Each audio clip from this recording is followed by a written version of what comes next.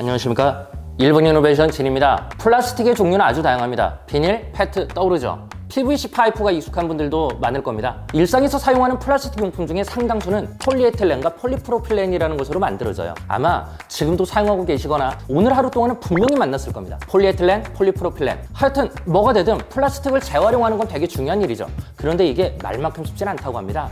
플라스틱 recycle이 어려운 건 최종 제품에 이것저것 섞여 있는 게 많아서 그렇습니다. 색깔을 내는 염료나 성능 개선을 위해 다른 소재가 섞여 있을 수도 있죠. 섞여 있는 게 많으면 많을수록 분리하는 게 어려울 거예요. 전자레인지용 음식 용기, 페트 병 뚜껑 같은 걸 보면 PP라고 써 있습니다. 폴리프로필렌의 약자예요. 내열성 good, 유해 물질도 없는 좋은 소재입니다. 그런데 PP 재활용 비율은 매우 낮다고 해요. 한 조사를 보면 전 세계 플라스틱 수요의 28%가 PP인데 재활용 비율은 다른 플라스틱에 완전 밀립니다. 1%가 안 되는 꼴찌 수준이에요. PP 제품에 이것저것 섞여 있는 게 많아서 그런 겁니다. 순수한 PP를 얻는다는 게 그만큼 힘든 거죠. 이 기술을 갖고 있는 회사가 있어요.